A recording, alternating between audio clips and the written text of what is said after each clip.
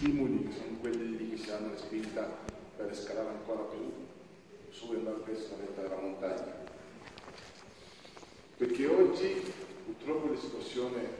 lo vedete, tutti gli atleti che siete qua, stiamo lottando ogni giorno, ogni giorno eh, per riuscire a tirare fuori il meglio di noi, per riuscire a conquistare quello che, quello che amiamo, quello che vogliamo, quello che ci siamo proposti perché comunque abbiamo la forza, abbiamo il coraggio, siamo